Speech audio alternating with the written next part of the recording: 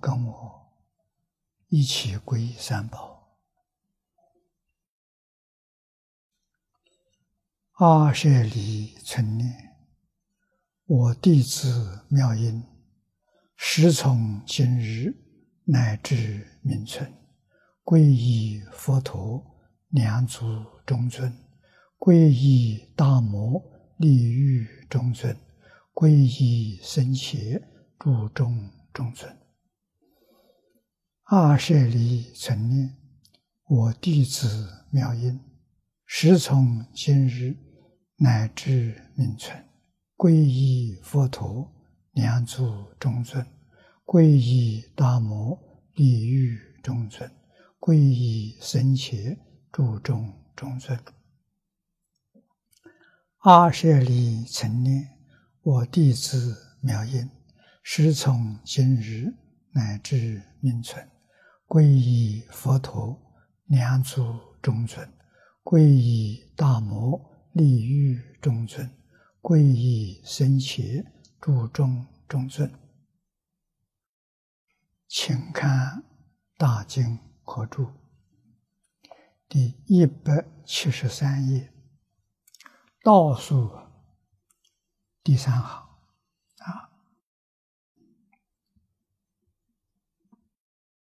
前面呢我们学到这个地方啊，意思还没尽。啊，我们还从这里学习这三种与菩提门相违背，必须要远离。啊，那么第一个要以智慧门。不求自乐，远离我心贪着自身苦。啊，这是第一个。第二呢，以慈悲门，拔一切众生苦，远离无安众生辛苦。佛法。古人说说的很好，什么是佛法？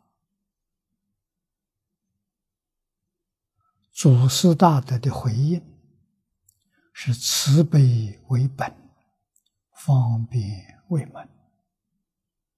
啊，正好这个地方慈悲方便都有了。啊，慈悲是心，爱心。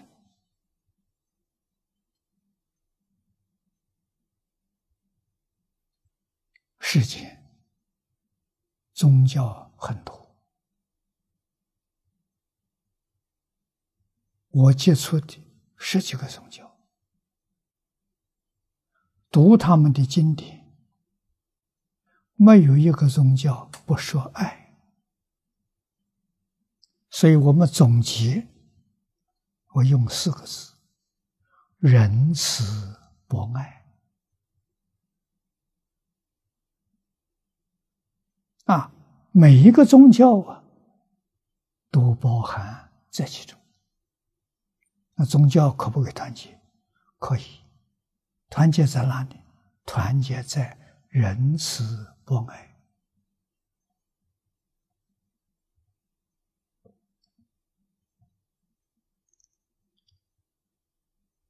啊，这个里面我们必须要知道。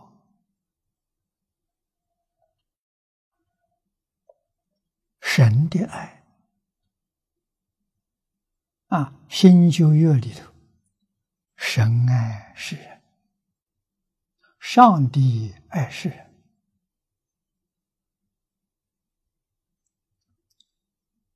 伊斯兰教《古兰经》里头，真主确实是仁慈的啊！佛法讲的是大慈大悲，是爱。为什么不用爱讲慈悲呢？爱容易让人产生感情。啊，就是情爱。为了避免这个误会，佛换一个名词，换慈悲。慈悲是有智慧的。啊，换一句话是，有智慧的爱心叫慈悲。啊，给世间人这种情感的爱。做一个明显的差别。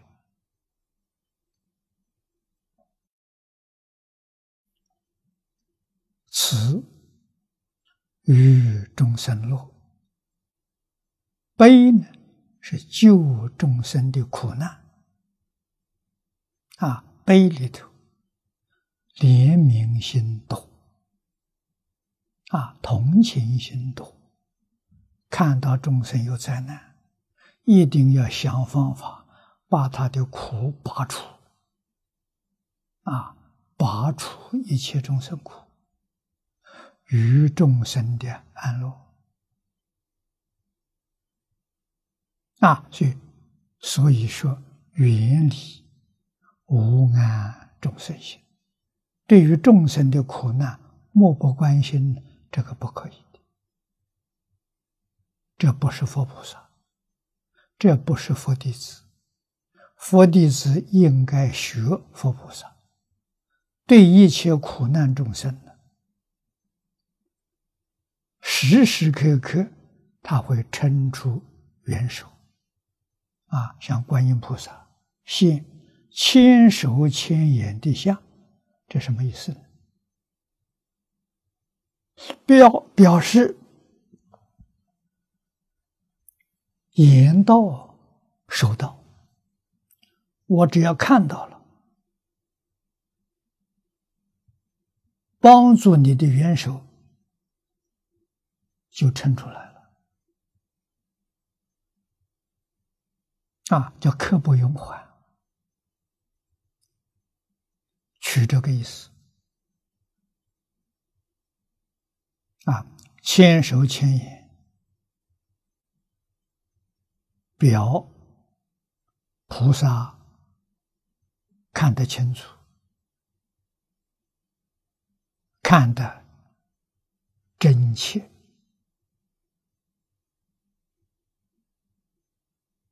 啊！慈悲心从这里就显示出来了，拔苦与乐。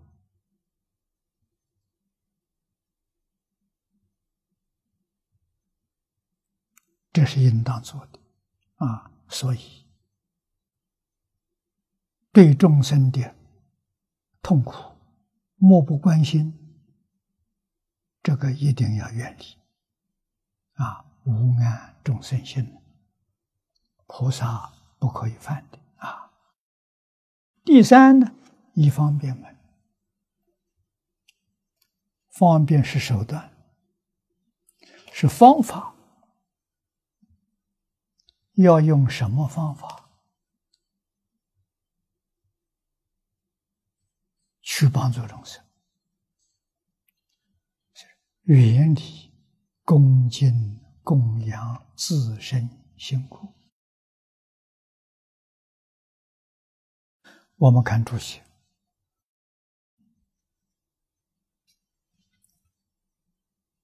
方便门。怜悯。一切众生心，远离恭敬供养自身心，啊，绝不求自己身心安乐，要顾自己身心安乐，你就不能帮助别人了。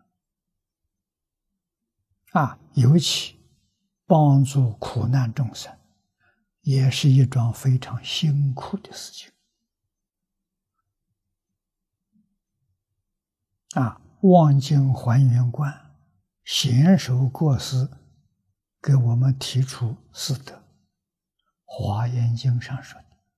啊，《华严经》是四十一位法身大师，他们这个四德都做到了。末后一句说：“待众生苦，一方便门呢。”就是代众生苦啊！要舍己为人啊！几个人在中国传统教育里头，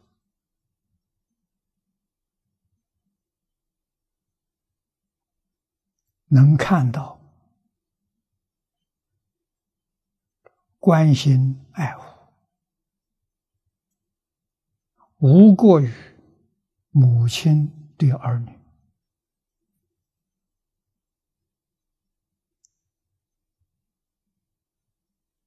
完全是付出，没有任何要求，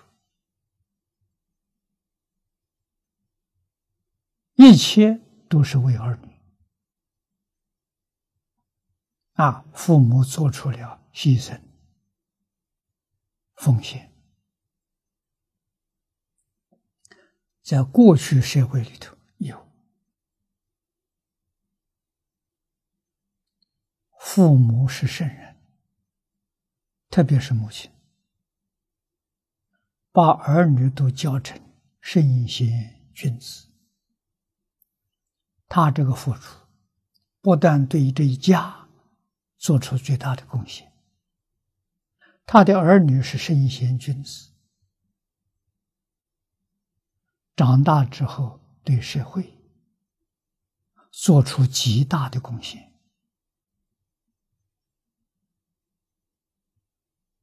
这个贡献的根源在哪里？是母亲从小教出来的。那么换一句话说，他的子女为国家、为民族。为人群做出的一切贡献，根源都是他母亲。中国自古以来，教女比较男孩子重啊，家有贤妻，有贤母，国家才有忠臣。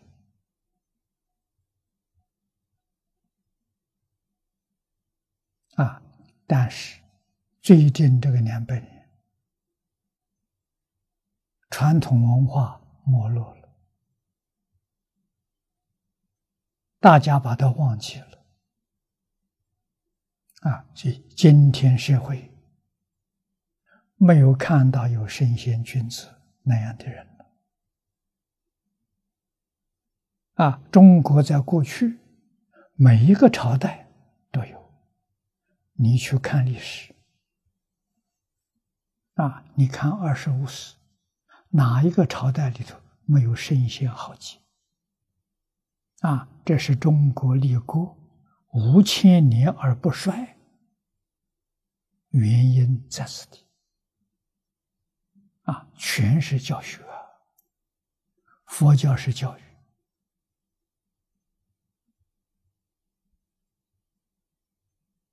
啊，中国教育里头所提到的、所想到的，佛经上全有。在境界上，佛比我们中国要高。中国教育只讲到世间，佛陀的教育讲到出世间。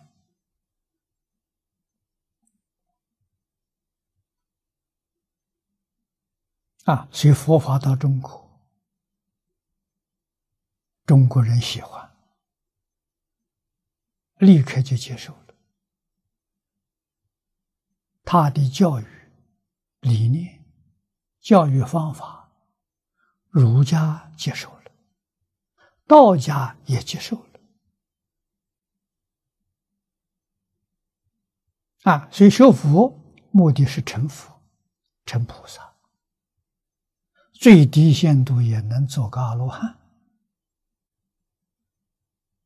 啊，学儒要成圣人，要成贤人，至少也是个君子，奉公守法，孝悌传家。啊，道这是出世，要成神成仙。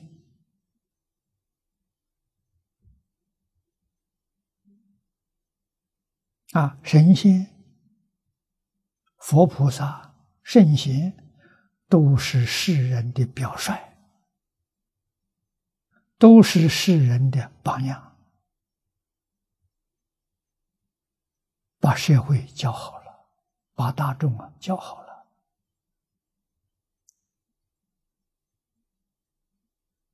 我们丢掉两百年，这个时间不短。也不太长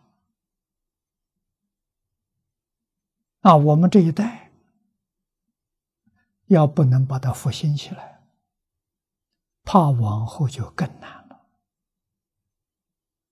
啊！我们的文化积绝成亡，就在眼前啊！所以确实有不少人。看到了，尤其难得了这桩事情，被习主席看到了。我们看他就职之后，他的言论，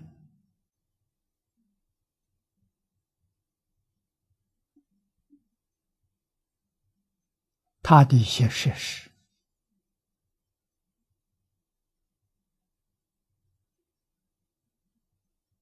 啊，要把中国传统优秀的文化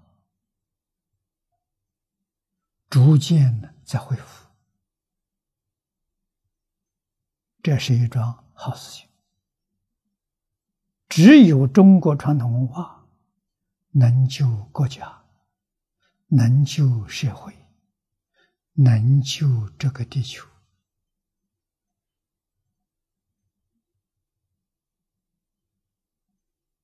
啊，典籍存在啊，而且翻译了不少，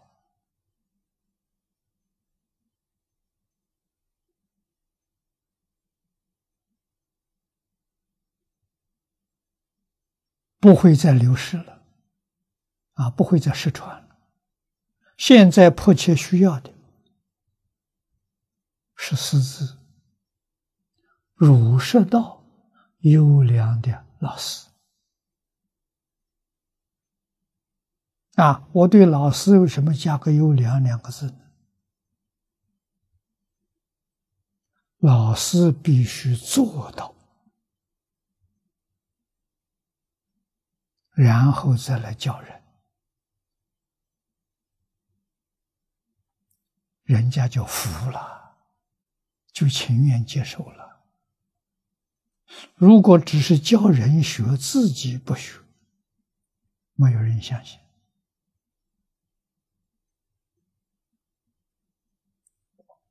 历史上有两个伟大的教育家，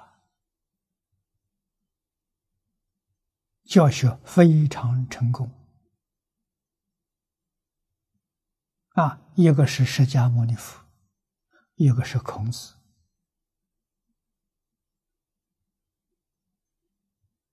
啊，他们没有做到的，他不叫人；凡是叫人的，他自己先做到。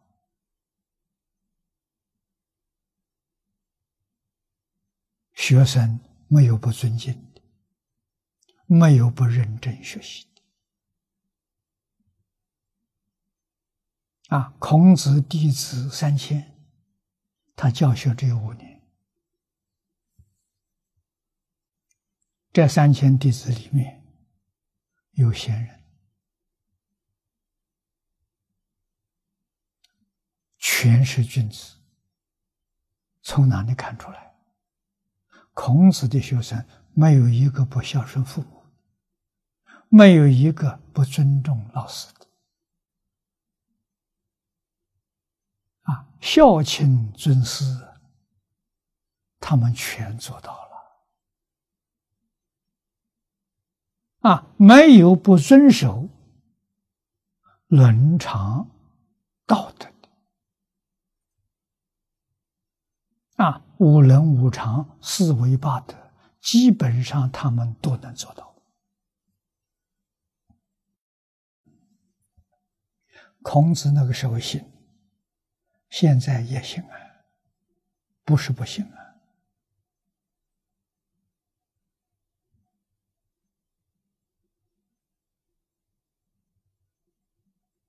零六年、零七年，我们在汤池做的小小镇上做的实验，做成功了。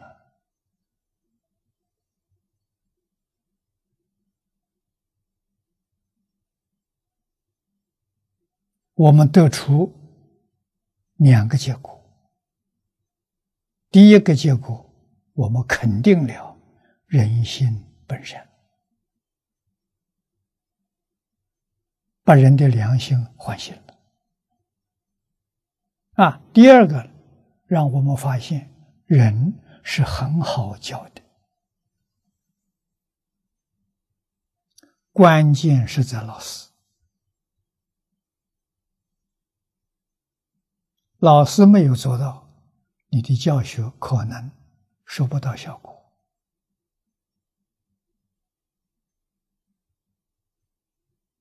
不能做得很成功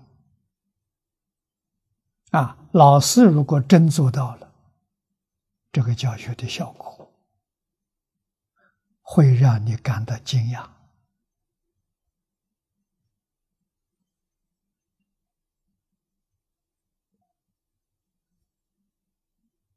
啊！不为恭敬，不为供养自己的身心。这就是无条件的付出。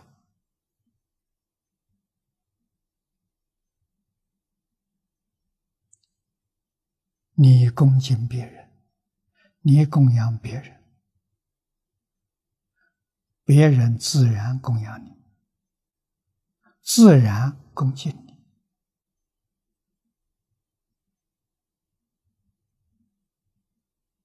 啊！你辛辛苦苦做了一辈子，到晚年大家看到了，大家觉悟啊！你们看来福寺里面三个人：海清法师、海贤和尚，还有他的妈妈。啊，妈妈年岁老了。没人照顾，还先把他接到寺庙里一起住，供养他。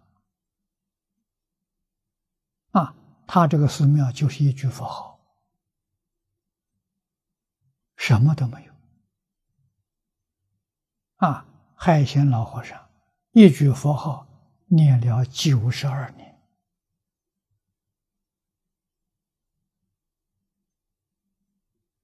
啊，他的佛号日夜不断，啊，睡着了就停了，醒过来就接着念。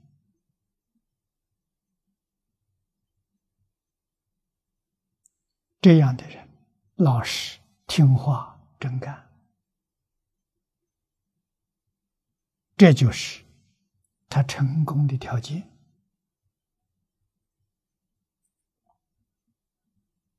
乡下人。一个农夫不认识字。啊到晚年受多少人尊敬？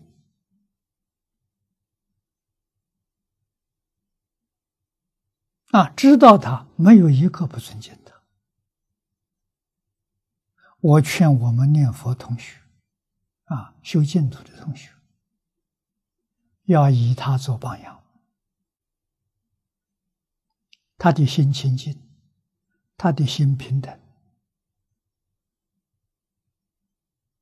啊，人和蔼可亲，平易近人，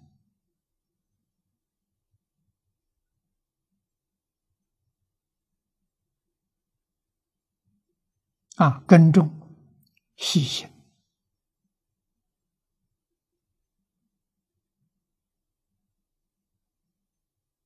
勤奋，不辞劳苦，种地面积很大。啊，庙里头平常只有四个人，吃不了那么多。啊，他将他的收成分给贫苦的人家、救济人家。照顾上千成万的人，功德不得了啊！内财布施啊！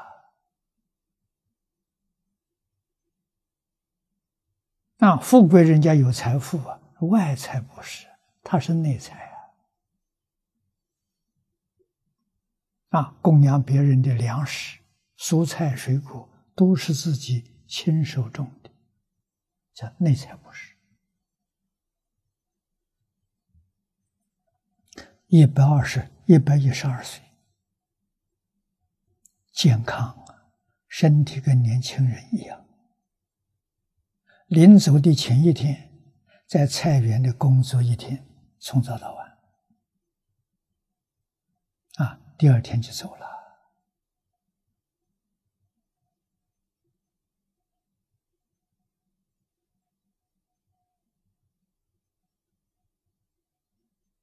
啊，比年轻人看到老人家工作很辛苦，劝他休息。啊，他怎么说呢？他说：“我把这些做完了，我就不做了。”啊，不知道，人家把他当平常话听。他那里工作放下了，晚上念佛。就走了。第二天起来，老和尚已经往生了。啊，不过大家觉得那天晚上比较奇特，老和尚念佛从来不敲引磬，那一天晚上敲引磬，啊，敲到半夜，他房间灯还是亮的，是吧？第二天早晨就看他走了。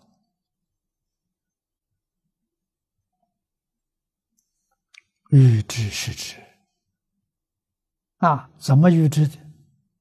他也透了消息。老佛爷告诉我，最近几天我要准备走了。啊，他没有说哪一天。其实他知道，他不讲，怕别人障碍他。啊，他老妈妈走的了不起。八十六岁啊！你看，王生之前还包饺子啊，让家人在一起吃个团圆饭。吃完之后，他在椅子上坐坐上坐下去，双腿一盘，告诉大家：“我走了，就走了。”啊，这么自在。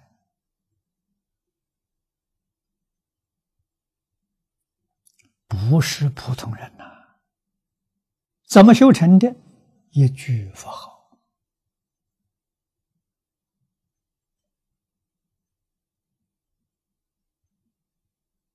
啊！工作不爱修行，生活不爱修行，待人接物不爱修行啊，口里不念佛，心里符号不断。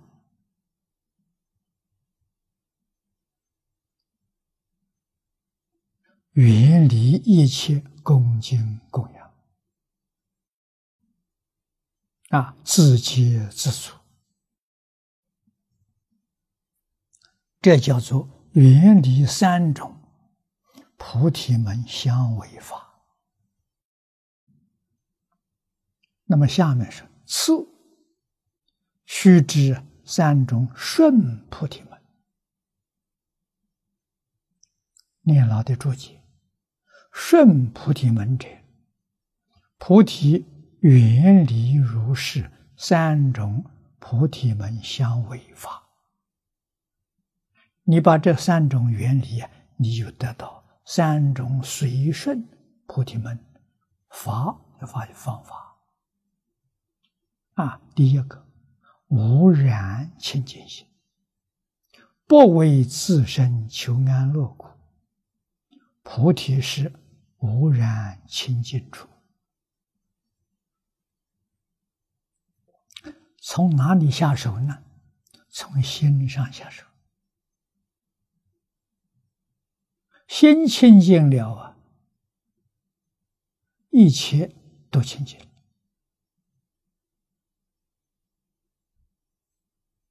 啊！但是修行人一定要知道。这个世界，什么都是假的，没有一样是真的，包括自己的身体，又何况身外之物？啊，真正知道，就真正放下，没有贪求、贪得的念头。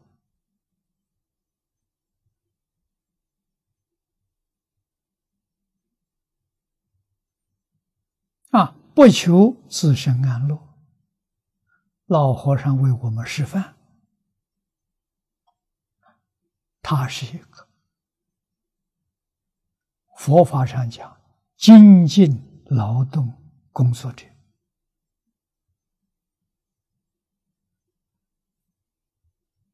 啊，他全放下了，心清净的。真诚、慈悲，对人恭敬啊！所以他住的地方，他工作的地方，都是清净处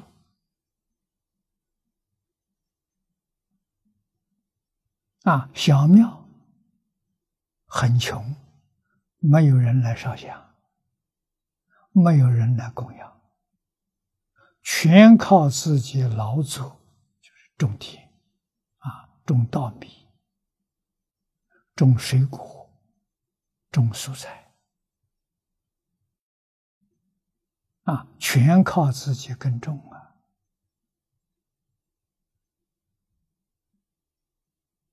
九十二年如一日。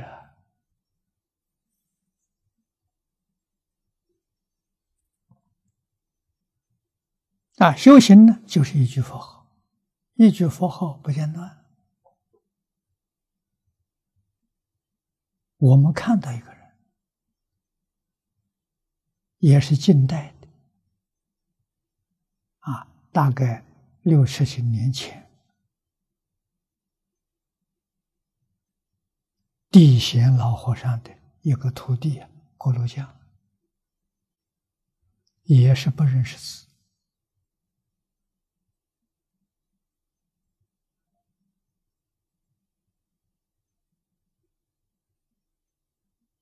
一生过着贫穷的日子，啊，四十多岁遇到小时候一个玩伴，就是地仙老和尚，他们是同一个村庄长大的，看到他出家不错，啊，有地方住，啊，吃饭都不愁。很羡慕，一定要跟他出家。四十多岁了，出家有难处，啊，不认识字，不能读经，学经教不行。啊，住庙里头困难，庙里早晚要做功课，早晚课课诵本不会念不行啊，别人瞧不起你。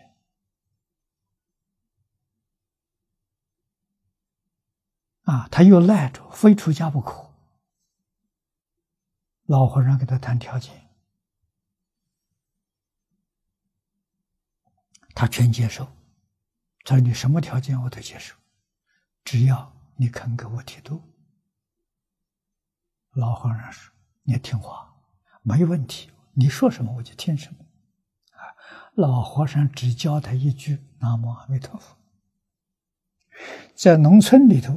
也找了个小庙，没有人住的，废弃的小庙，叫他住在那里头。啊，就这一句佛号念到底，你尽管念下去，念累了就休息，休息好了再念，不分昼夜。他念了三年，站着往生。啊，也是预知时至啊！往生前一天，他从来没有三年没有离开小庙。啊，往生前一天，到城里去看看亲戚朋友。那什么慈心，他不告诉人，就没人知道的。晚上回到小庙，啊，有一个老居士老太太。给他烧两顿饭，照顾他。他告诉老太太：“明天你不要替我烧饭。”啊，老太太以为他今天去看朋友，可能有朋友请他吃饭。啊，明天中午不要烧饭。到第二天中午不放心，小庙看看师傅在不在。啊，到小庙去一看。师傅往生了，站着走的。他从来没有看到人是站着死的。啊！告诉乡下学佛的同修，大家来看商量怎么办？赶紧给老和尚送信，请他来处理。就地县老和尚没有交通工具，都是走路。从乡下到到这个关中寺，啊，一往一来要走三天的。他往生的，站了三天，站着往生，我们听说；往生之后站三天呢，没听说，大概只有他一个。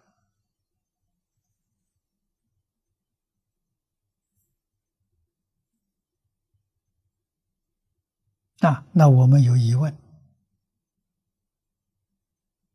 海贤老和尚二十岁出家，他的条件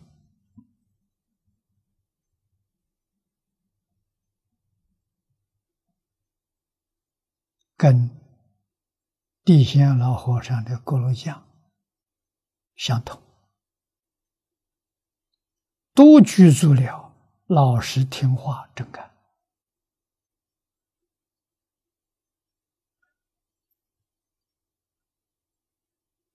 他三年能不能往生？二十岁念佛，二十三岁能不能往生？肯定能。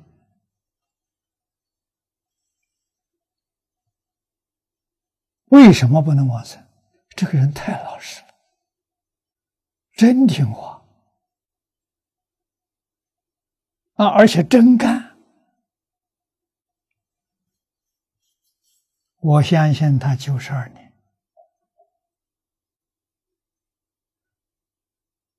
决定不止三次见佛，九十二年了。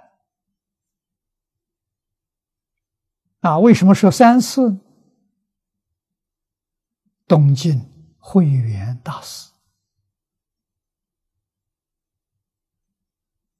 这是净土宗第一代的祖师啊，他一生当中三次见阿弥陀佛，见到极乐世界。第四次见到，他跟人说，他们那三次没跟人说，没有人知道。啊，第四次佛来接引他往生，他才把这个信息告诉大家。别人问极乐世界什么样子，跟《无量寿经》上所说的完全一样。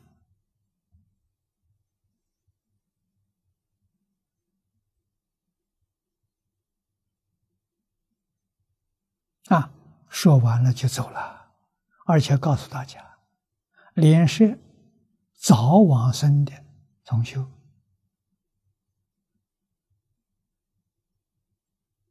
有十几个人比他先往生的，通通在阿弥陀佛的身边一起来接引他。啊，他每个人名字都叫得出来，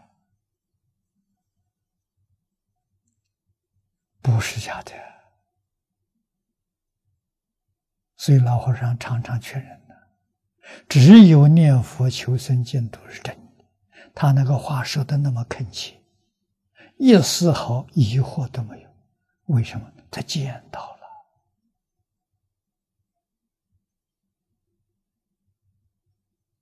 了啊！圆工大师一生见到三次，最后一次一共四次啊！我相信他决定超过啊！为什么佛不带他去？佛要留他表法。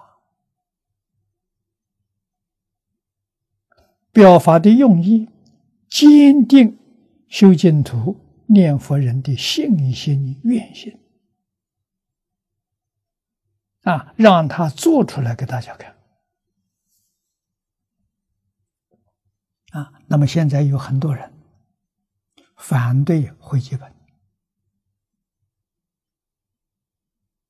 他这个最后实现的表法与这个有关系。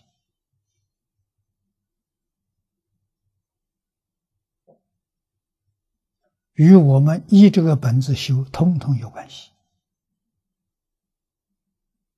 啊，他不知道有这本书。若要佛法行，唯有生战胜。他并不知道。啊，往生前三天，他的弟子带着这本书。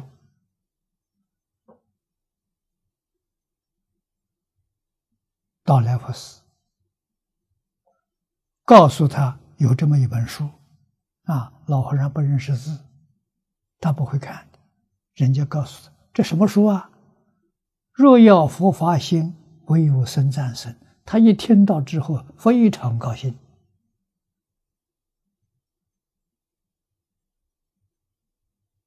如获至宝，啊，好像盼望多少年。哎呀，终于出现了，高兴的不得了！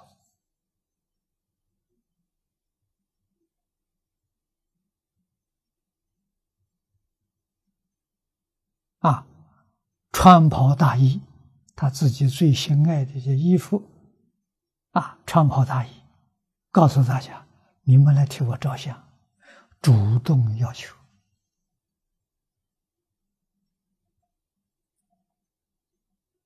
啊，哪里晓得这个照片照完之后，第三天老和尚就往生了。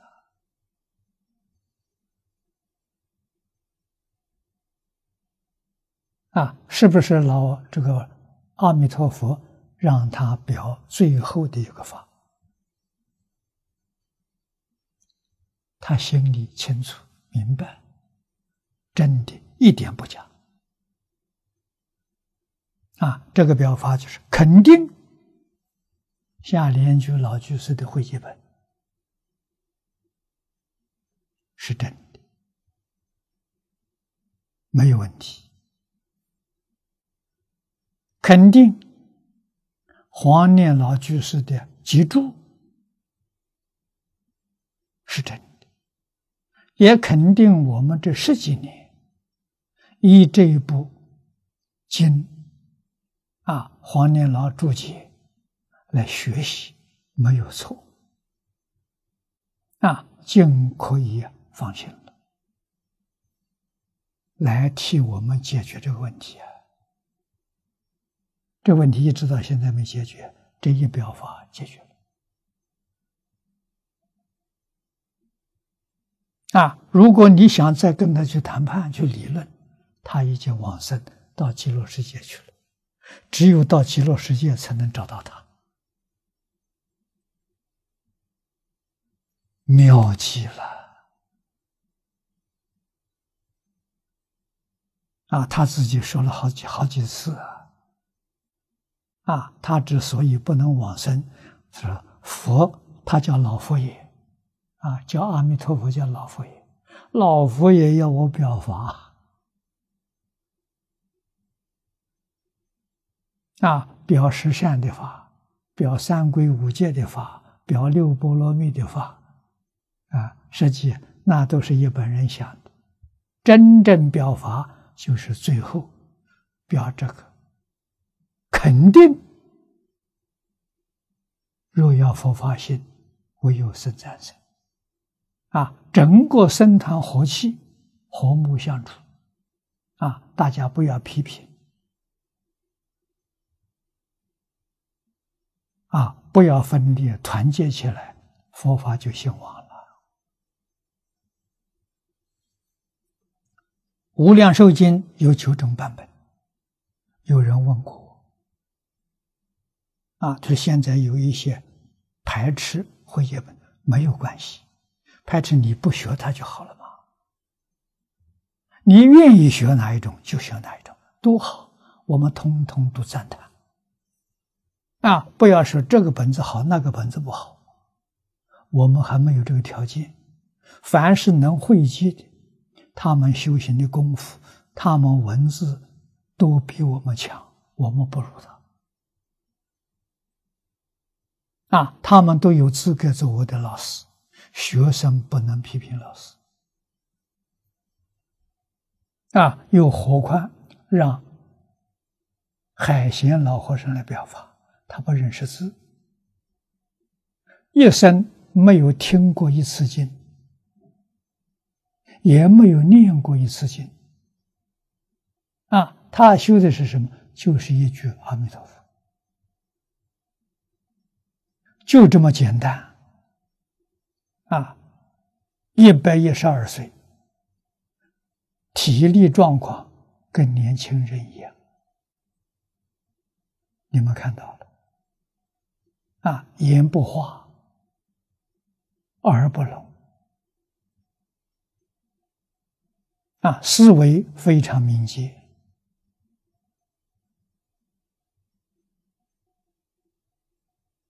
啊，九十二岁还怕上树，有两个镜头，一个是修理树枝，一个是上树折柿子。啊，爬到树顶折了一箩筐柿子，拿下来分给大家吃。谁能做得到？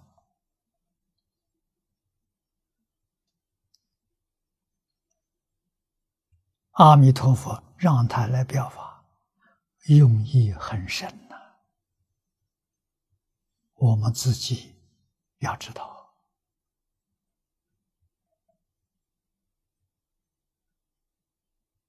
啊，佛法兴，国家就兴旺；佛法兴，宗教就团结了。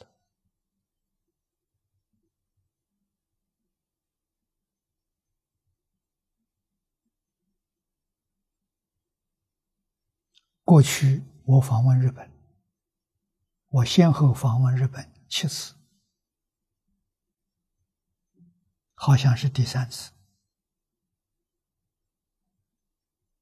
跟日本一个老和尚一百岁，中村康隆见面，啊，他告诉我，全世界每一个宗教的创始人都是观世音菩萨的化身。给我说这么一句话。我离开的时候，他的徒弟桥本送我到门口，告诉我，老和尚一生从来没有说过这句话，他为什么会跟你这么说？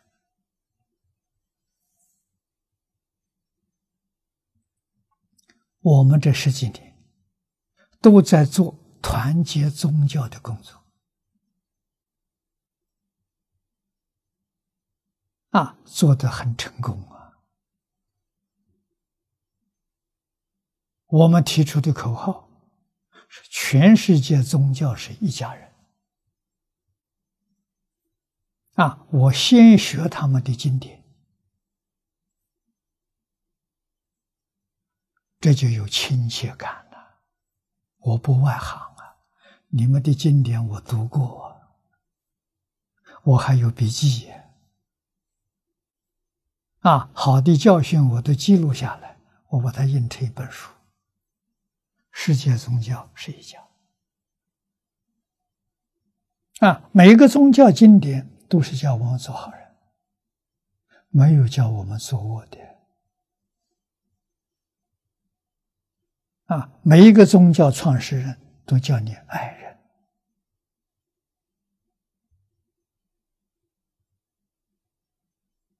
啊，没有一个宗教不爱人的。爱自己，要爱众生。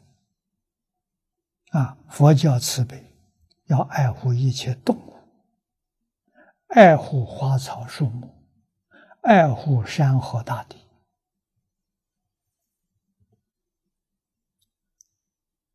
慈悲到基础。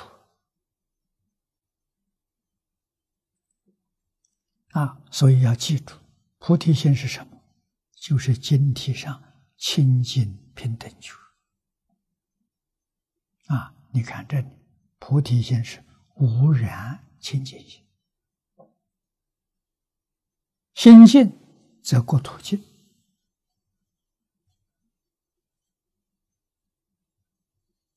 啊！这是顺菩提门。第二呢，安清净心。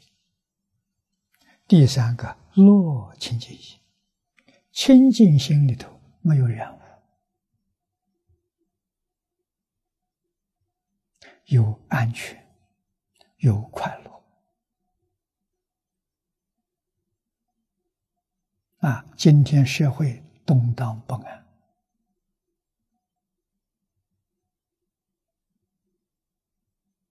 发菩提心就安了。今天的社会染污非常严重，不但物质的染污，心理染污比物质染污还要严重。啊，心离开一切染污，我们的身呢也就离开了。现在量子力学家告诉我们。我们的念头能够改变我们的环境。啊，物质环境是从念头变现出来的，所以心清净了，身就清净，我们居住的环境就清净，这是真的，不是假的啊，所以。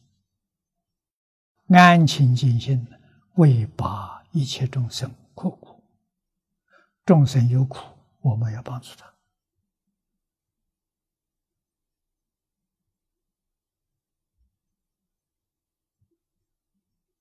啊，海贤老和尚做到了，这三种都做到了。啊，他在乡下。一生住在乡下，很穷苦的乡下，生活在那边的农人，没有田地可耕了。老和尚也没有啊，老和尚没有田地，全是开荒啊，山坡。没有土的啊，他去开发，把它开出来。做耕种，啊，种粮食，种稻米，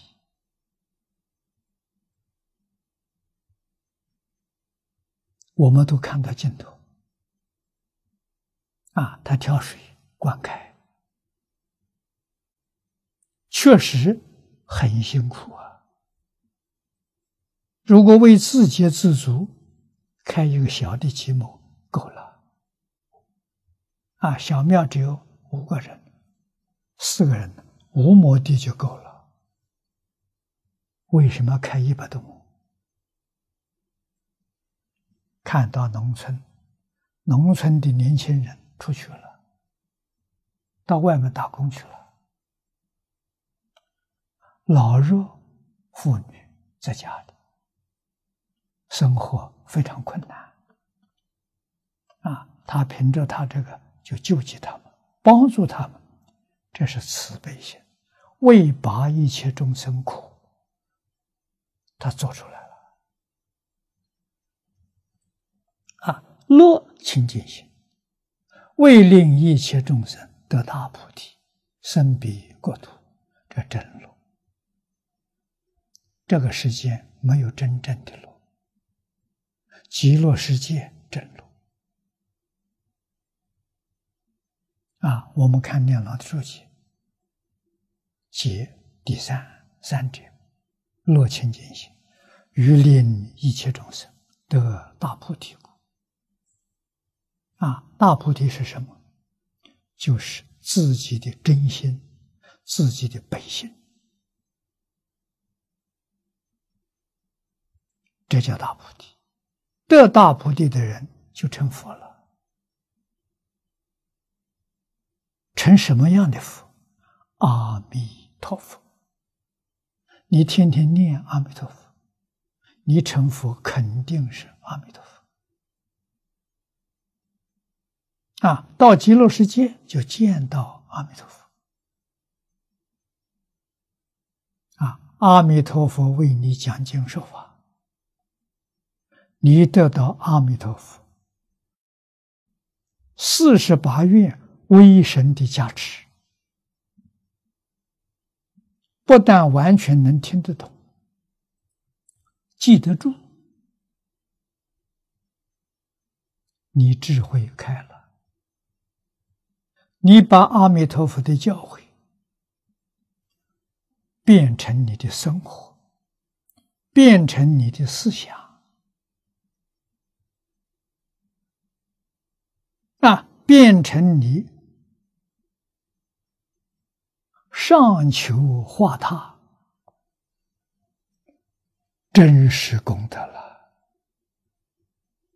啊，向上求佛道，到极乐世界就有本事啊，有本事能够分身，分多少身？无量无边。啊，《西游记》孙悟空不行了。他只有七十二变呢。往生到极乐世界的人，那本事可大了，变化无穷无尽。设方有多少插图，有多少诸佛如来，他就现多少身。同一个时间。他能够变到一切诸佛刹土去拜佛、去供养、修复啊。听佛讲经说法了，是求智慧，佛慧双修。啊，在一个时间里面，他就得到圆满。天天圆满，时时圆满，在极乐世界成佛，所以时间非常快。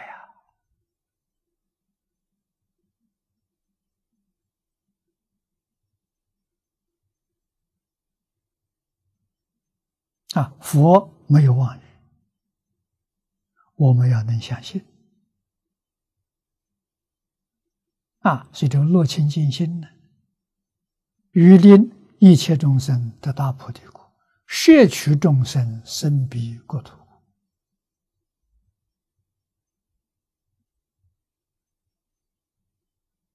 摄是摄受，取就是带他，啊，带着他一起到西方极乐世界，菩提是毕竟。常乐处，菩提翻的中国意思是觉悟，真正觉悟，圆满的觉悟。啊，所以是毕竟就是就近常乐处，离苦要离究竟苦，究竟苦是。六道轮回啊，真苦啊！啊，离开六道轮回，叫离究竟苦。啊，往生西方极乐世界，得究竟乐，离苦得乐。啊，若不令一切众生得毕竟常乐者，则为菩提门。你跟菩提相违背，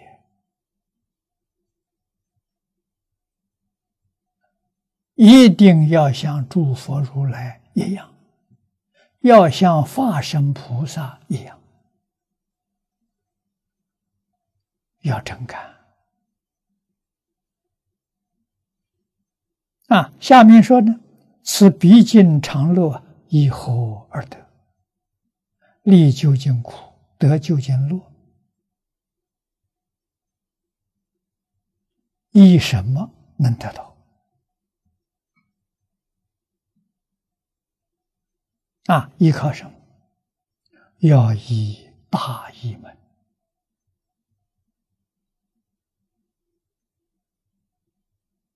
大义门者，未必安乐国土是也。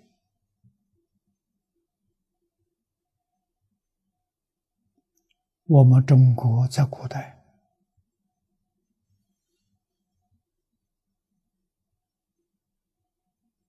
有不少朝代都有过太平盛世、礼义之邦啊！那个时候的人有福报啊！啊，不像我们现在生在乱世，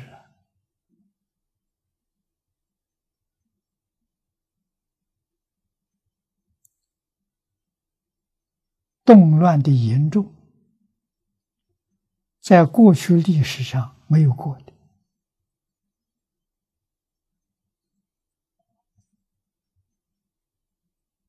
啊，中国历史、外国历史从来没有过像现在这么混乱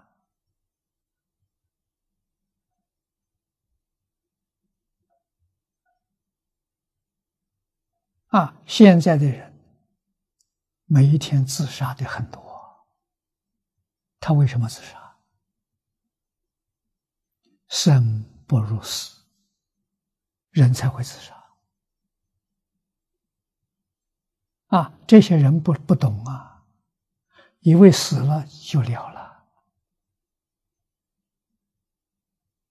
他不知道死了更苦，比活在这个世界还苦。啊，死。不能解决问题，怎样能解决问题？求菩提能解决问题。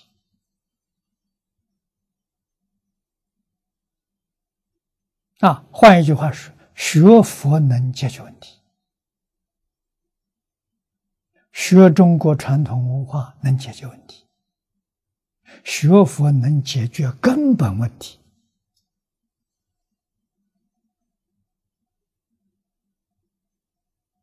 啊，那就是永远摆脱六道轮回，往生西方极乐世界。啊，极乐世界是全宇宙里面仁义之宝，所以称为大义门呐。啊，礼义之宝啊，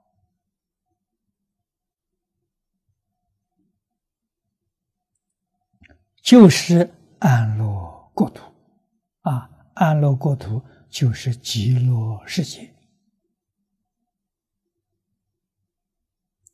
阿弥陀佛发大慈悲心，用无界时间去修行，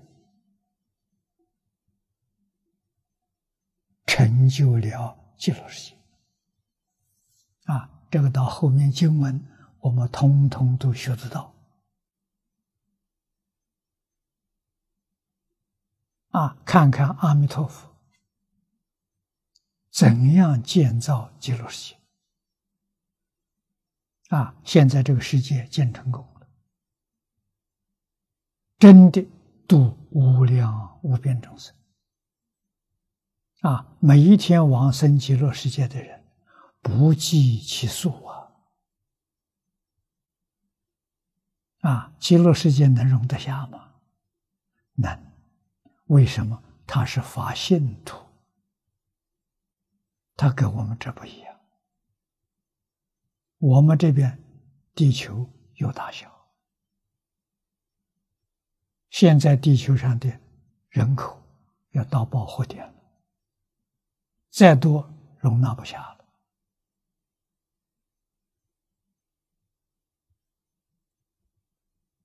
啊，没那么多的资源。极乐世界资源丰富，没有大小，再多都能容纳下，不会显得拥挤。这发现呢？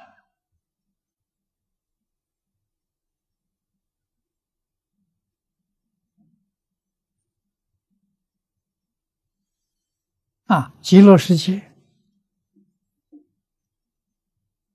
人身体之好，无法形容，我们无法想象。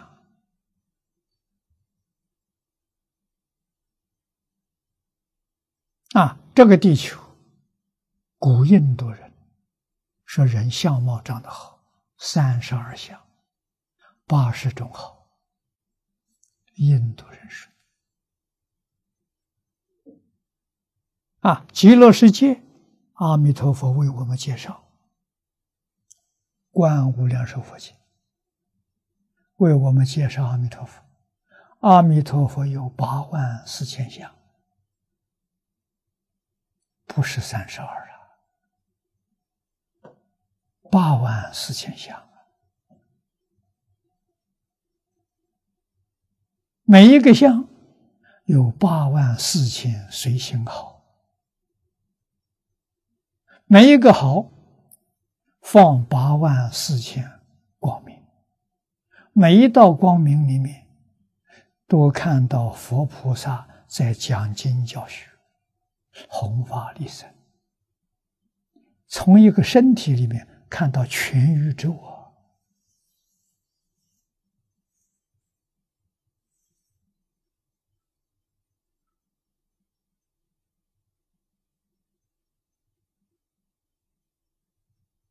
啊，我们现在生在这个时段，科学技术啊相当发达。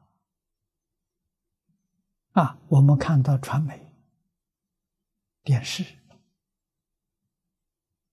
啊网络，对于佛法讲的这些有一点概念。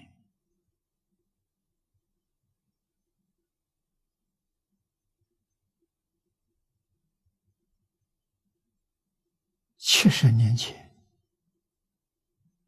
世界上没有这个东西啊！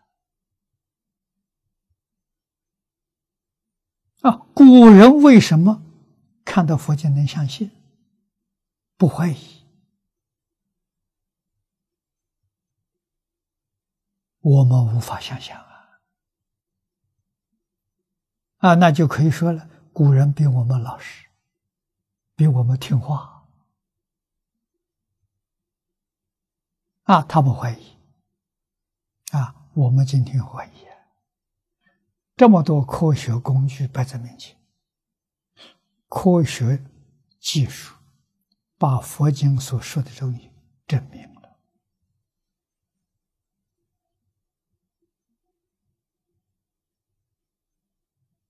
啊，那我们想想，我们有能力在此地。对全世界人民说话吗？做得到。现在有电视，啊，现在电视的进步，不但他看到我们，我们可以看到他。啊，他在美国，他在欧洲，我们可以面对面谈话。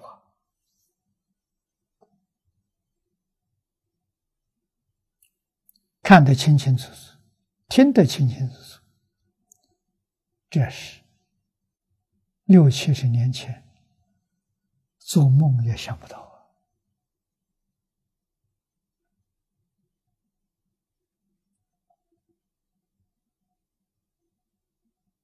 啊！啊，那么西方极乐世界要不要这工具？不要。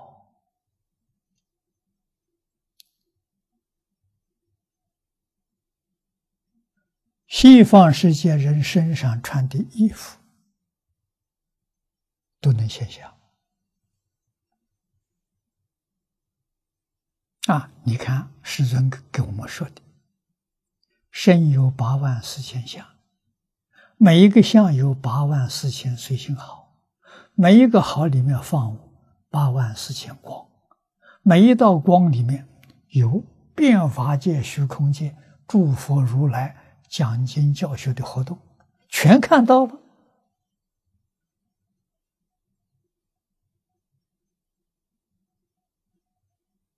啊！那我们这些工具搬到极乐世界，没人要，太落后了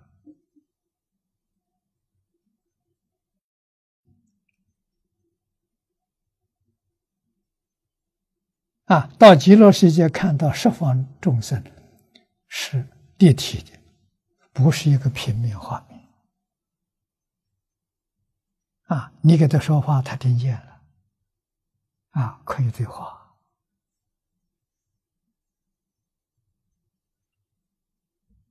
啊！所以学科学要到极乐世界，我们这个的科技跟极乐世界比，太落后了。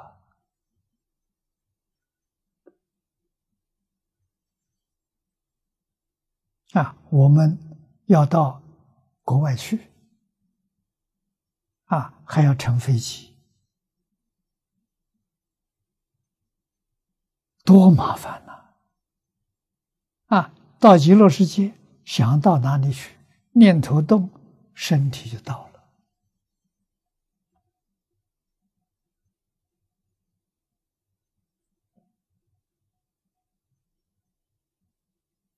这能不去吗？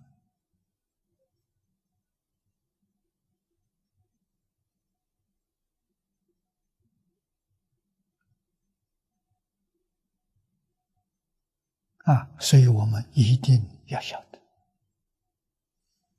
要明了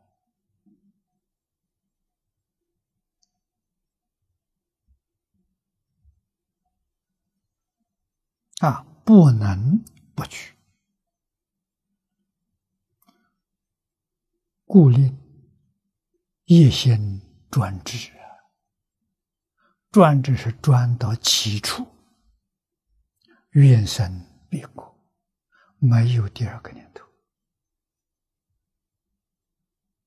我就是想生到极乐世界，于是早会无上菩提。啊，这个会是得到，是欺辱。啊，实在讲呢，无上菩提是自己本有的，不是从外头来的。性外无法，法外无心。啊，只是我们自己迷失自己，啊，好像没有了，其实没有失去。只要回头，把障碍放下，他就现起。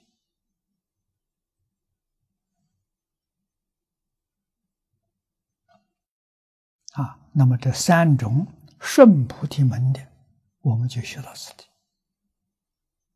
我们再看下面这段：圆小思远，发菩提心。是名正言。又云发心有二，第一个随四发心，如四宏愿；第二个顺理发心，信解诸法实相而发心。下面是注解的原文。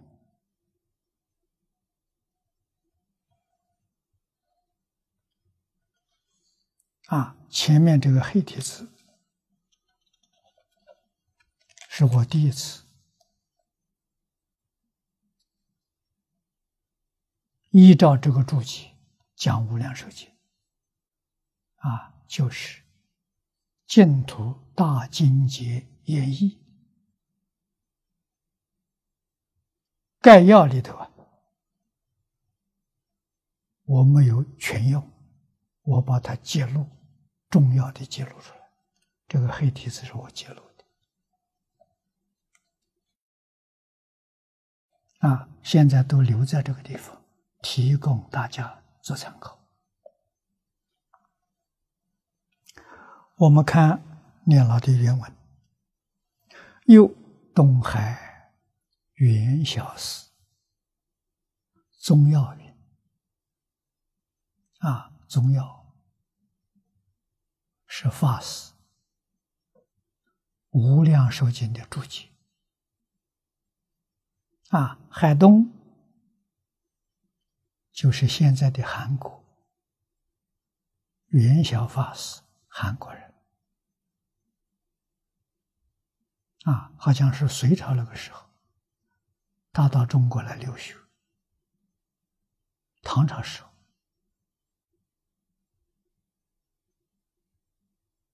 啊，到中国来留学，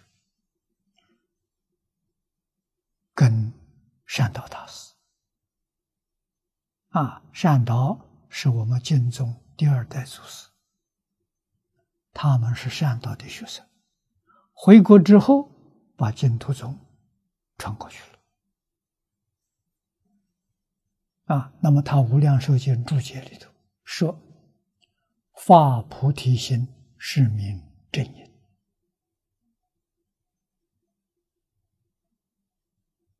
往生的正因是发菩提心，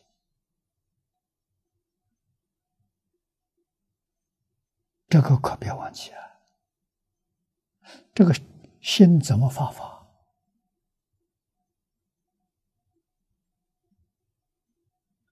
真心、真愿啊！对西方极乐世界，决定没有丝毫怀疑。啊，佛的话，祖师的话，信得过，这基本条件。啊，决定不怀疑，我相信西方有极乐世界，极乐世界有阿弥陀佛，阿弥陀佛发四十八愿，普度十方诸佛刹土，六道里头苦难众生，包括我在内。我只要真正相信，只要真正愿意往生。这就是菩提心。啊，我们往生极乐世界正因就有了，啊，决定不能怀疑，怀疑正因就有了问题了，就不能往生。啊，那下面又说发菩提心有两种，一种是随事。一种是顺利啊，随事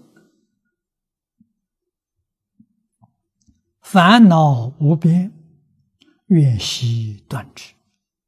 悉是全部断得干干净净。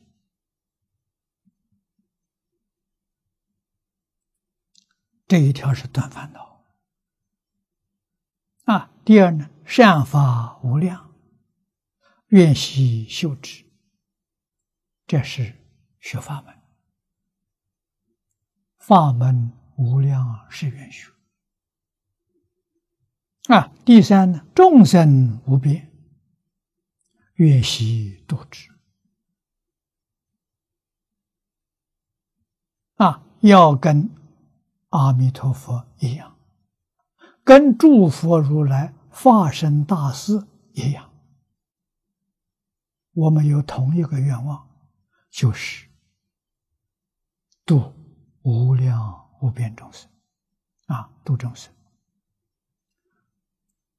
后面是成佛道，佛道无上誓愿成，啊，就叫四弘誓愿，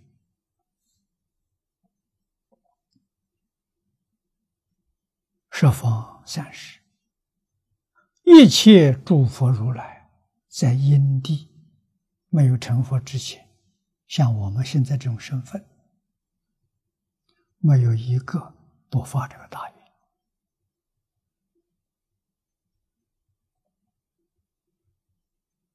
啊！此心果报。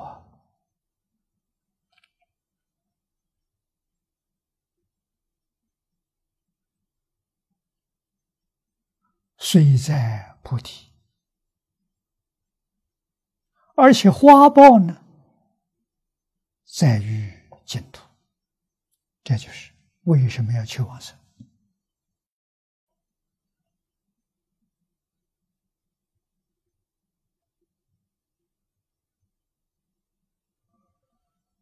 如果不求往生，全靠自己。烦恼到什么时候你才能断得了？法门要到什么时候你才能学得完？真的，无量劫再加上无量劫，未必能成的。这个法门是捷径，是快速通道。没有障碍，只要你相信。为什么？阿弥陀佛帮助你啊！这个不靠自力，靠他力，全靠阿弥陀佛。对阿弥陀佛不能不相信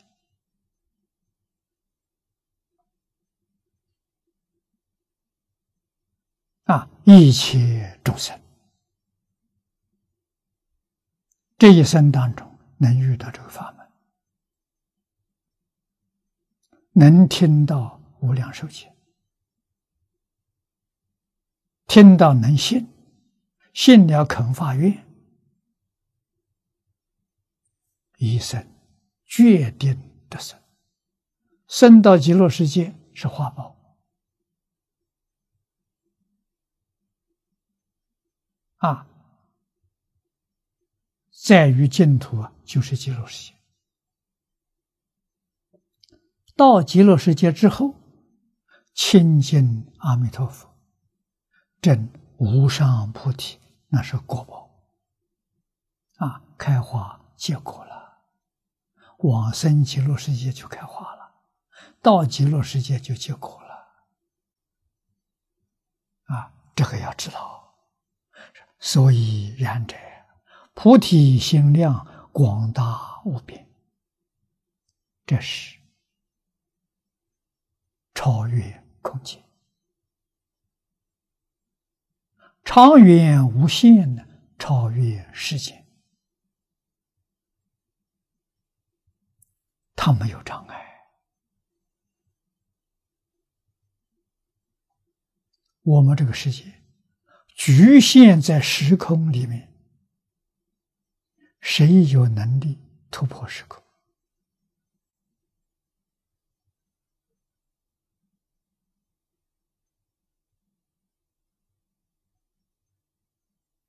念佛人能突破时空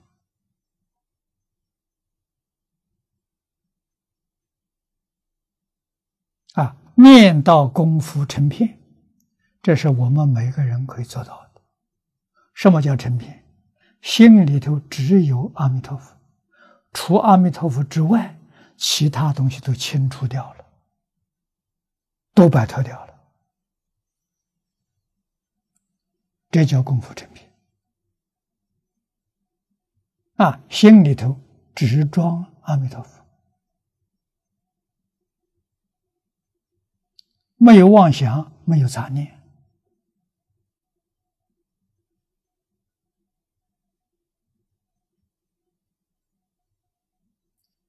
这个心是清净心的。如果有妄想杂念，这个心叫染污心。心被染污了，不清净不清净当然不平等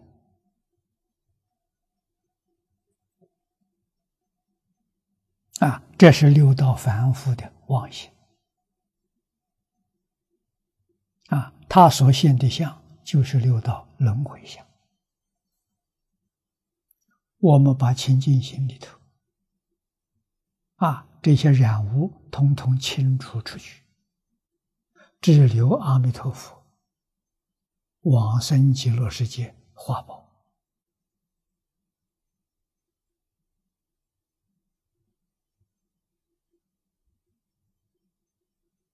啊！所以清净菩提心，能感得了广大无际。一报净土，长远无量正报寿命，这就说明为什么极乐世界那么大啊，大到我们不能想象。十方世界去众生都能够容得下，没有拥挤的感觉。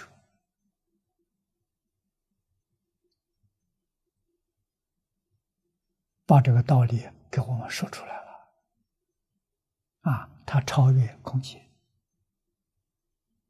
没有空间限制，长远无量呢，没有时间的限制，所以它无量寿，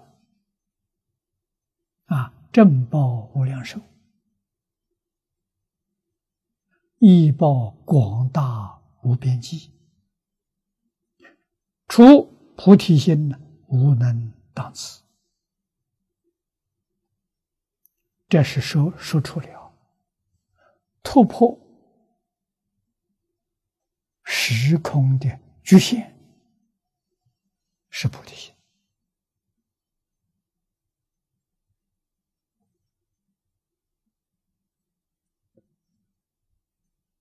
啊！唯有菩提心是真心。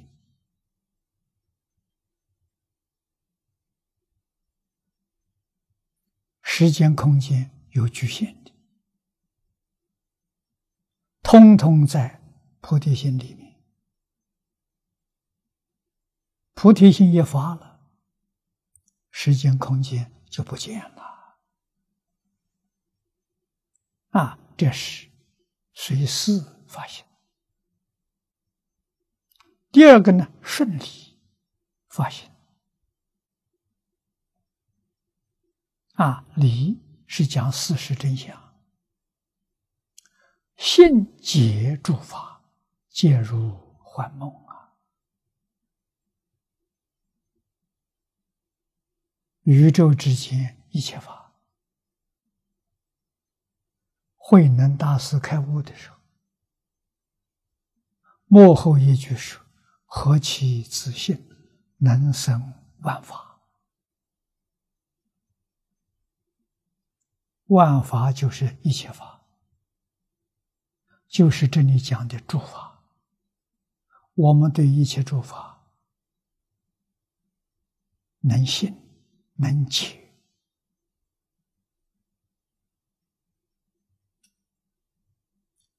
这是真实智慧。啊，这些诸法是怎么回事？情皆如梦幻。金刚心上告诉我们：凡所有相，皆是虚妄；一切有为法，如梦幻泡影，如露亦如电，应作如是观。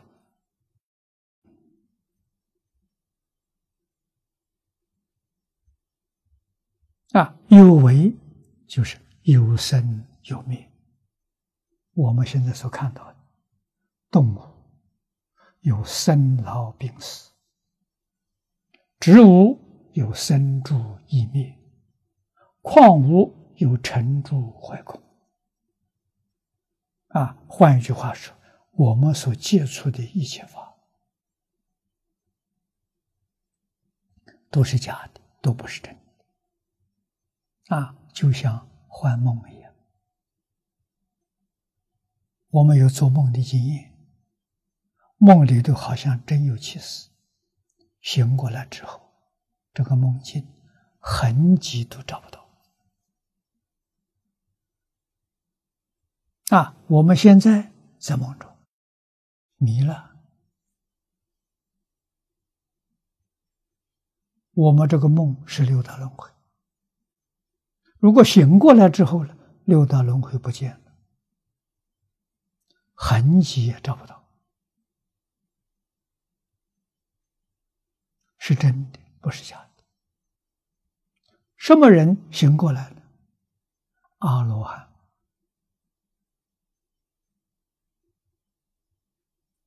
阿罗汉把清净心恢复了，那么由此可知。这个染污的心，造成了一个梦境。心要恢复清净了，梦就醒过来了，再不会做梦了。啊，真的，阿罗汉再不会做梦了。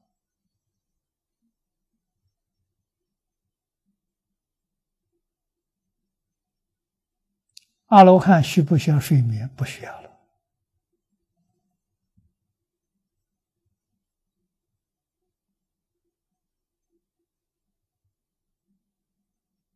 啊，他可以不要这个肉身。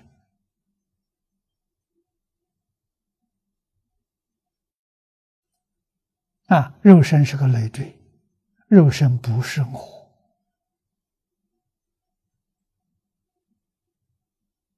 肉身完全是虚幻的。今天量子力学家把这桩事情搞清楚、搞明白了，跟佛所说的。一样，证明大乘佛法里头有高等科学，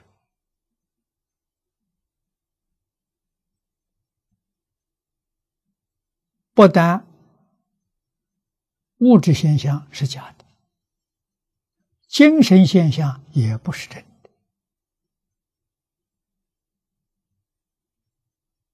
啊，物质是精神变现出来的。幻想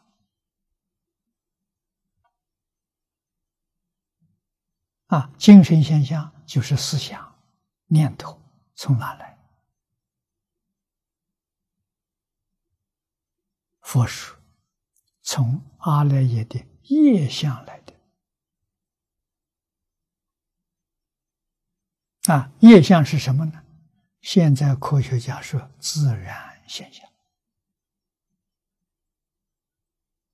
波动的现象。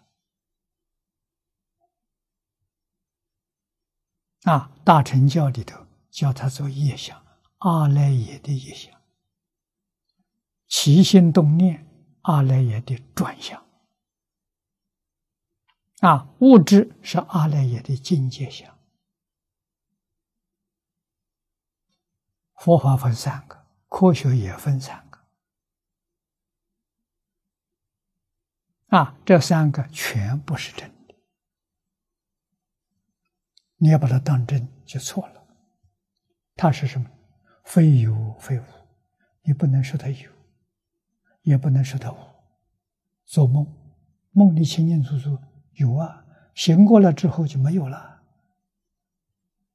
真找不到啊。啊，所以所有的现象是非有非无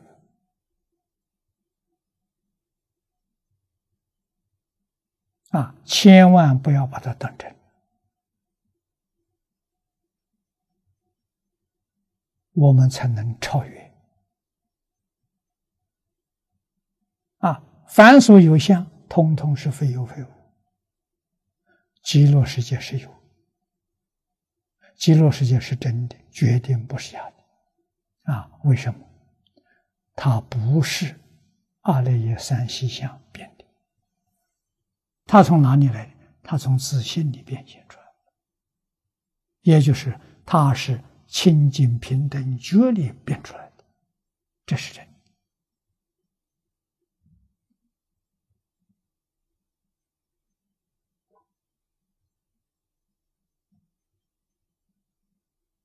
啊绝言绝律，绝言言语说不出，律师思维，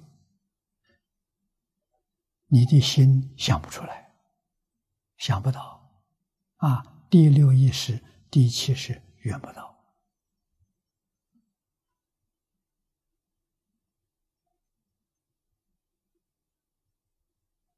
啊。言语代表五根、五尘，五根缘五尘，缘不到自信啊，远不到。虽不见有烦恼善法，而步步无可断可修。啊，这是正知正见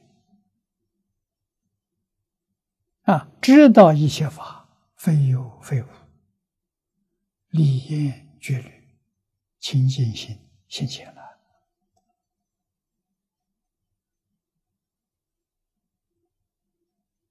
虑就是思虑，就是我们今天讲的妄想杂念，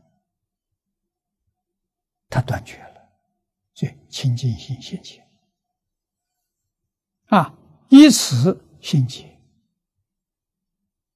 是以清净心，我相信，我理解了，明白了。啊，虽不见有烦恼善法，烦恼善法非有非无，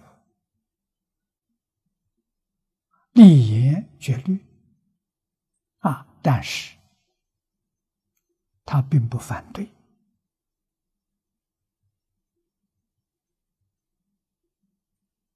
有烦恼可断，有菩提道可修，这就很可爱！你看，不破无就是不排除，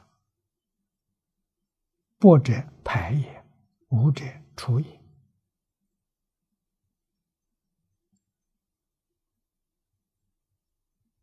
啊，故上面一句意思是：虽不见烦恼与善法，但任可任由可修与可断。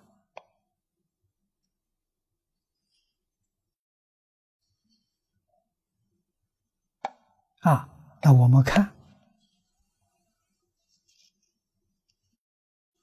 海贤老和尚的例子，这在眼前。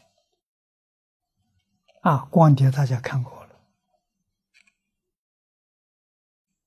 他知不知道这一切法是假的？知道，他告诉人，他自己说的，只有念佛求生净土真，其他都是假的。啊，你看他天天念佛，佛号不间断，这就是有可修，什么都不放在心上，可断。啊，任有可修可断。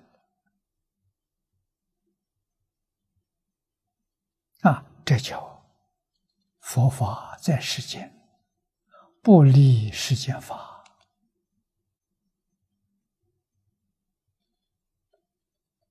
啊，受苦虽愿呢，习断习修，又不违背无愿三昧。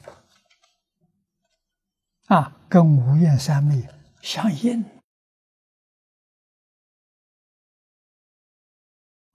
无愿三昧是什么？就是大三空三昧。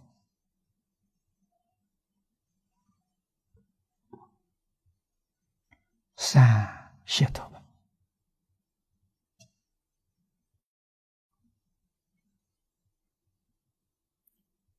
空无相无作，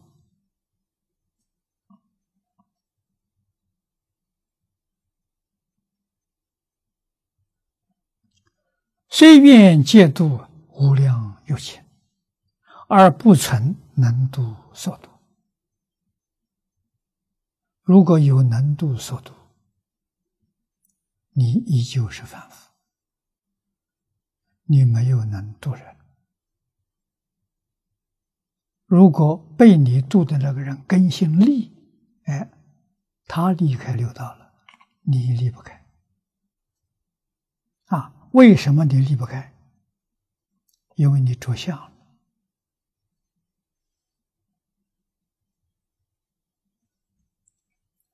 着相就离不开呀。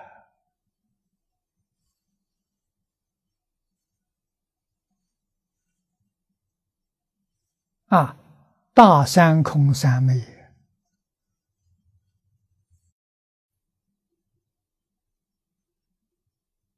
三昧就是禅定，三昧就是一心不乱，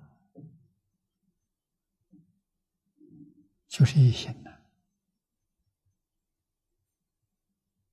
啊！度无量无边众生，没度，一个也没。度了没有？真度，度众生，心上不放度众生的痕迹啊，心地清净，一尘不染。如果有个度众生的念头，这个念头把清净心染污了。清净心被染污了，你是六道凡夫，你不是阿罗汉。啊，阿罗汉做再多的好事，不着相，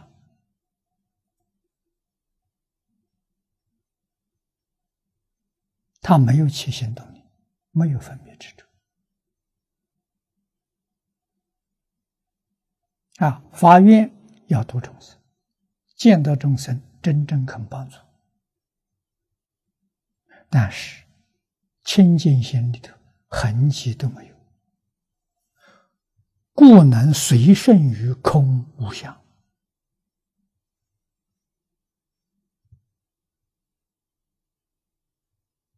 啊，空无相无愿。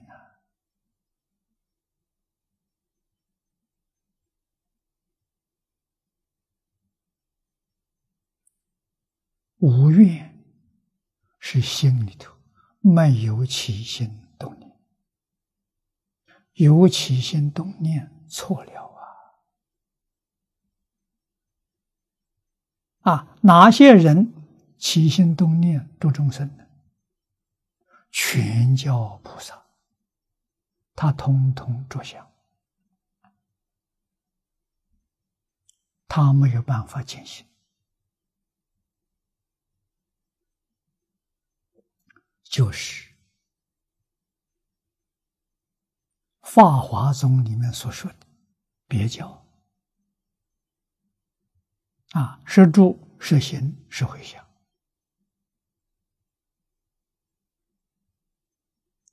他没有得三解脱门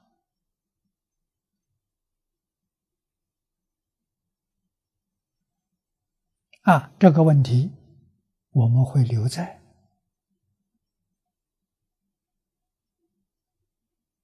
学习大境界。这里面呢，来讨论，来细说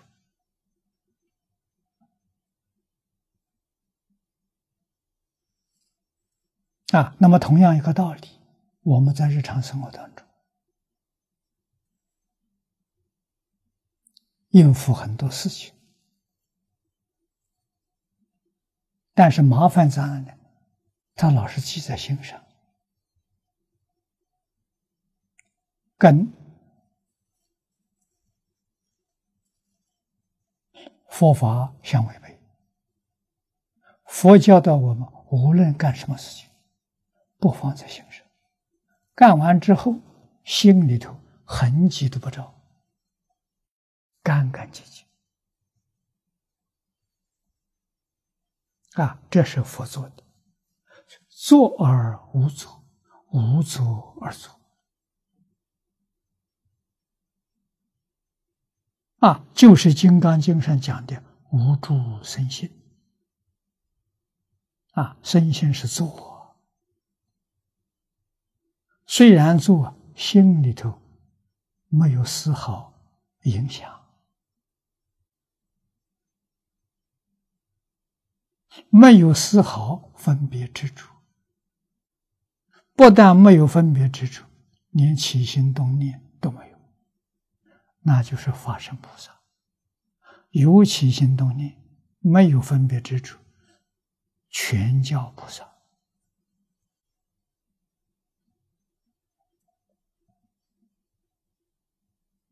比阿罗汉高一等。啊，阿罗汉没有执着，有分别。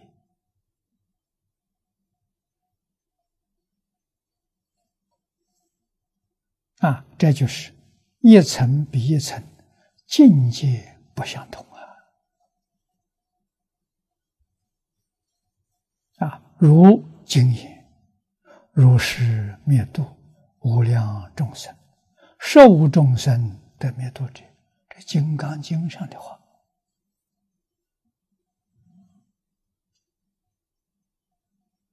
啊，如是向上面讲的。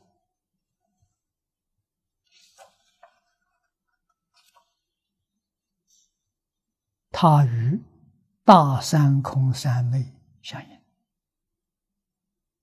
啊，换一句话说，它与我们这部经的经题里面所说的清净平等觉相应，这个说法更贴切了。在日常工作当中。这是最高的指导原则。你的生活与这个相应，工作也与这个相应，待人接物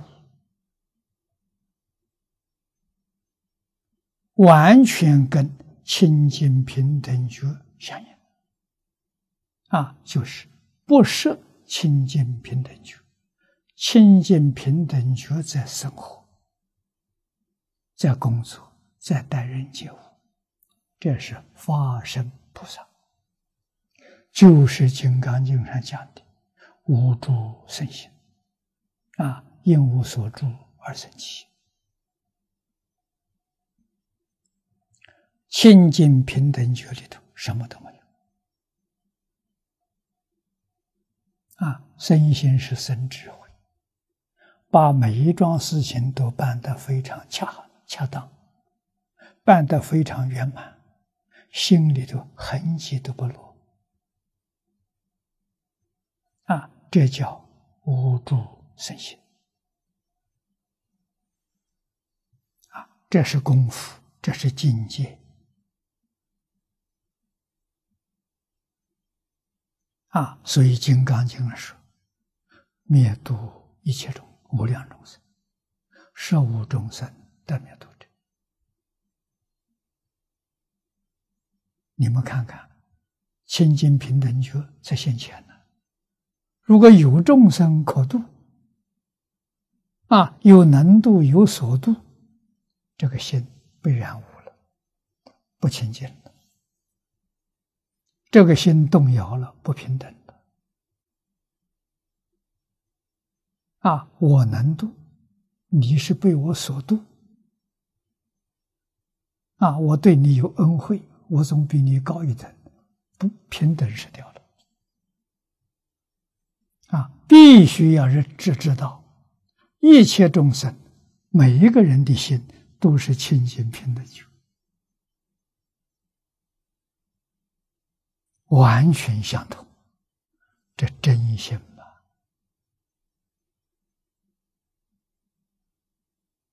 慧能大师说的太好了。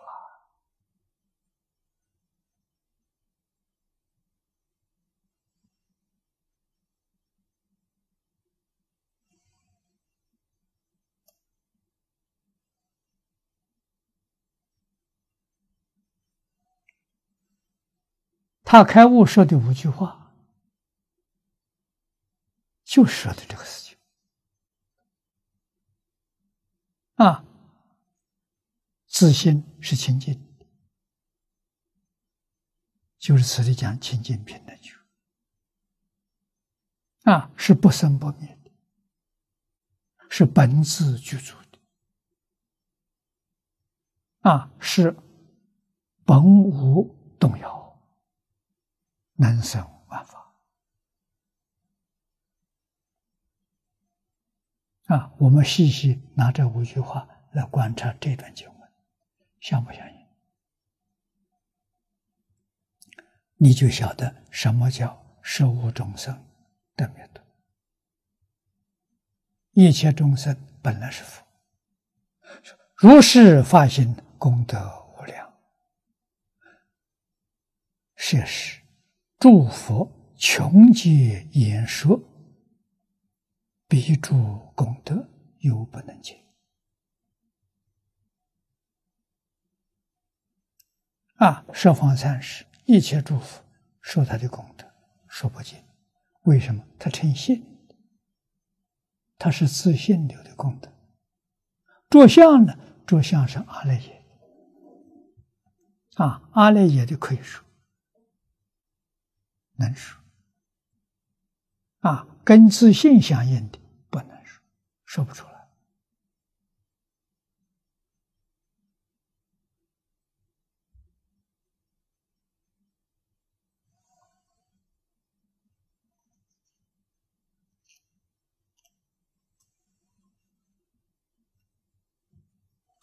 今天时间到了，我们就学习到此。